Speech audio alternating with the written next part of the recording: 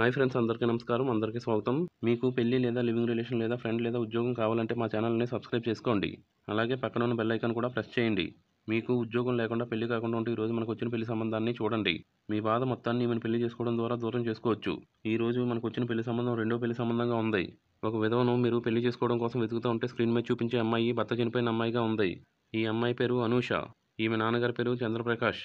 ఈమె నాన్నగారికి ఒక సొంత కర్మాగారం ఉంది. నెలకు మూడు లక్షల పైన ఆదాయాన్ని సంపాదిస్తా ఉన్నారు. ఈ పెళ్ళి సంబంధం మనకు కాకినాడ నుండి వచ్చింది. కాకినాడ తూర్పుగోదావరి జిల్లాలో ఉంది.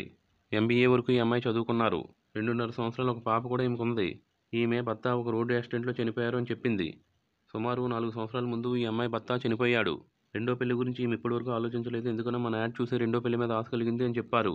ఇద్దరు అక్కలు కూడా ఈమెకున్నారు అన్నదమ్ములు అయితే ఈమెకు లేరు అని చెప్పారు. ఆస్తి అయితే చాలా ఉంది. చాలా ధనవంతుల కుటుంబం అని చెప్పారు.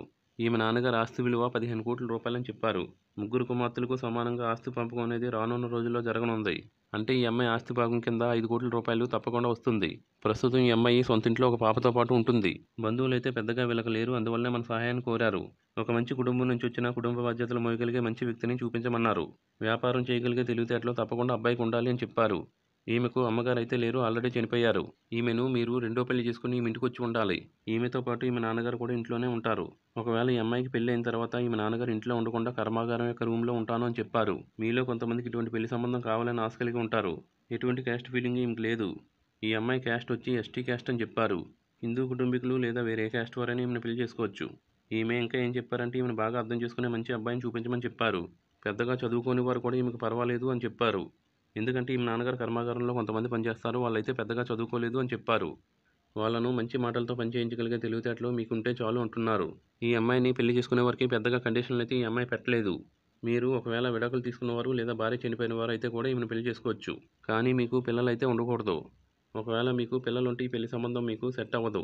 ఈమె వయసు కన్నా ఎక్కువ వయసు వారు లేదా తక్కువ వయసు వారు లేదా సమాన వయసు గలవారు ఈమెను పెళ్ళి చేసుకోవచ్చు. ఈ అమ్మాయిది చాలా ధనవంతుల పెళ్ళి సంబంధం కాబట్టి వెంటనే లేట్ చేయకుండా పెళ్ళికి సిద్ధపడండి. ఈమె వాట్సాప్ నెంబర్కి మీ బయోడేటాను పంపించవలసి ఉంటుంది. తెలుగు భాష మాట్లాడేవారు మాత్రమే మీకు కావాలని చెప్పారు. ఇటువంటి పెళ్ళి సంబంధాలు చాలా తక్కువగా మాకు వస్తూ ఉంటాయి. మీరు ఈ అమ్మాయిని పెళ్ళి చేసుకుంటే మీ జీవితం సెటిల్ అయినట్లే. మీరు ఈ అమ్మాయిని పెళ్ళి చేసుకున్నట్లయితే మీ జీవితమే మారిపోతుంది. ఉద్యోగం లేని వారికి పెళ్ళి సంబంధం చాలా బాగా ఉపయోగపడుతుంది.